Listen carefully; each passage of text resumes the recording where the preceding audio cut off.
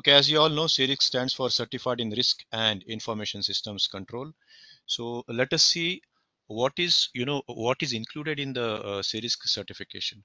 So CRISC certification is divided into four domains. Domain one, uh, which is uh, a governance. Okay. Now you will see three columns in the slide: domain name, relevance to CRISC, and domain weightage. Uh, be focused governance is mainly uh, what is governance is nothing but uh, monitoring to govern things through through what policies and uh, procedures. So this domain mainly tests your knowledge of uh, you know information about an organization's business okay? And it examines potential or less impacts of it risk to the organization's uh, business objectives. Always remember that it has to be aligned with business. I repeat it has to be aligned with business. So we are talking about domain one governance and weightage of this domain is uh, in terms of number of questions is 26% which approximately stands uh, 39 questions. Next domain is uh, it risk assessment. Okay. So this domain will you know uh, ensure your knowledge about threats and vulnerabilities. That is nothing but threats and uh, vulnerabilities is uh, a weakness to the organization's ppt ppt stands for people process and technology. Okay and what are the likelihood chances and impact of that uh, uh, threats and weaknesses? Domain weightage for this domain which is it risk assessment is 20% around 30 questions. Domain 3 is uh, risk response and uh, reporting.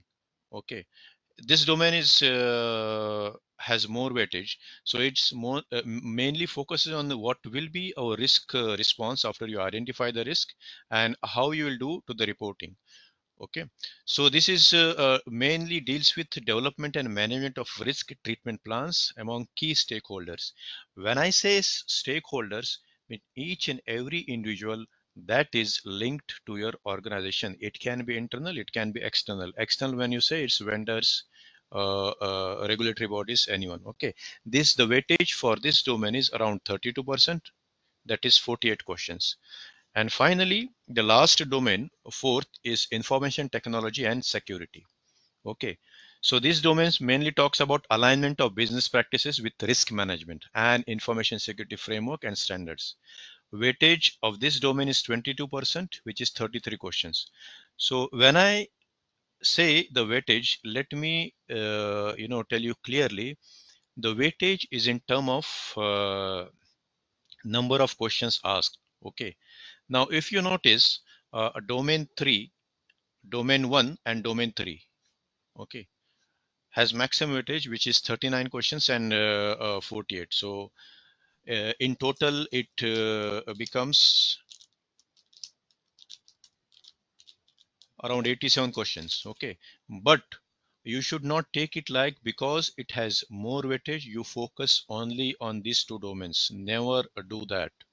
Each domain here is equally important in terms of CRISC exam preparation. Now uh, uh, let's say if you assume that you will just quickly read uh, uh, you know uh, domain 2 and domain 4 because it has less weightage and domain 1 and domain 3 has uh, more weightage and you'll score that. No it's not like that. Even if you get the question from domain 3 it will test your conceptual understanding of other domains domain 1 and domain 2 so how each question even if you answer it correctly how what is the formula to i mean it doesn't mean that if you uh, answer the questions correctly from it's from domain 1 and uh, uh, domain 2 it carries equal marks. The formula for scoring uh, is decided by ISACA okay. So this was all about uh, uh, what are the domains different domains in CRISC. Each domain domain 1 is divided into part a part b. Okay which is uh, under governance, you'll find uh, if you see in the manuals, uh, ISACA manuals, part A is nothing but organizational governance. Part B is risk governance. Okay, and under risk assessment, IT risk assessment, there are two parts again, part A, part B. Part A is IT risk identification. Part B is IT risk analysis and evaluation. Domain 3 is divided into three parts. So it's a bit wide. Uh, uh, part A, it's risk response. Part B, it's control, design and implementation. And finally, part C is risk monitoring and reporting. Domain 4 is divided into part A and uh, part B.